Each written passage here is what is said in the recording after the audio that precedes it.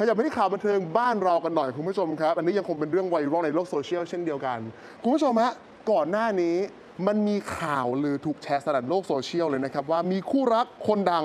กำลังซุ่มปลูกเรือนหอราคา 60 ล้านบาท เพื่อเตรียมรองงานแต่งในปี 2 ปีนี้ ซึ่งผู้ใหญ่ทั้งคู่เนี่ยตกลงกันแล้วเรียบร้อยนะ แต่ว่าที่ยังเงียบอยู่เพราะอะไร ต้นสังกัดของทั้งสองฝั่งเนี่ยยังไม่อยากให้แต่ง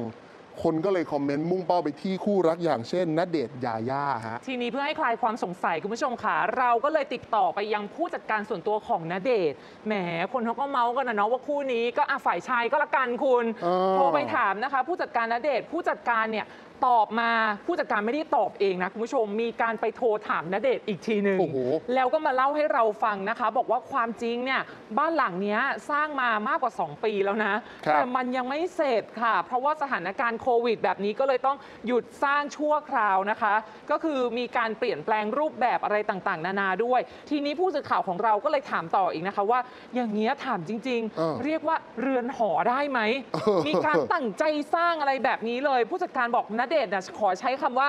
บ้านของครอบครัวไอ้ยะเฮ้ย ขีดเส้นใต้คำนี้คุณผู้ชม มันมันต่างกันเหมือนกันนะเออ คือคืออย่างนี้นะคุณผู้ชมฮะคือผู้จัดการเนี่ยยืนยันว่าบ้านหลังนี้ไม่ใช่บ้านเรือนหอตามข่าวลือที่ว่า 60 ล้าน ค่ะ แต่จะบอกว่าเรือนหอได้ไหมเนี่ย ก็ไม่ใช่เพราะณเดชน์ใช้คำว่าบ้านของครอบครัว แต่ทีนี้เนี่ยที่เราถามไงเราก็เลยเออถามไปว่าใช่เรือนหอไหมเพราะว่าสุดท้ายแล้ว เจ้าตัวเขาก็พูดว่า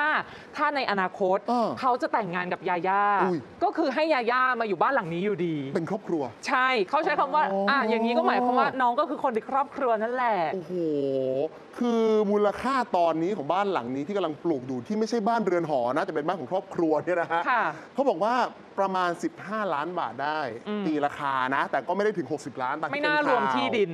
ไม่น่าน่าจะเป็นไม่แค่การก่อสร้างการวางแปลนหรืออะไรแบบนี้มากกว่าเป็นไปได้ แต่พอขึ้นมาอย่างนี้แล้ว ถ้ารวมแล้วจะ60 ล้านไหมเอ้าก็น่าคิดเหมือนกันนะ อืมงั้นที่ลือก็อ้าวถูกเหรอหรือยังไง ไม่รู้ไม่รู้ แต่อาย้ำชัดเจนว่าตอนนี้ก็คือปลูกบ้านนั่นแหละค่ะ นะฮะจะเป็นบ้านของครอบครัว คือถ้าใครเป็นครอบครัวแล้ว ก็คืออยู่บ้านหลังนี้นั่นเองนะใช่อะเคลียร์ไปหนึ่งเรื่องนะคุณผู้ชมนะ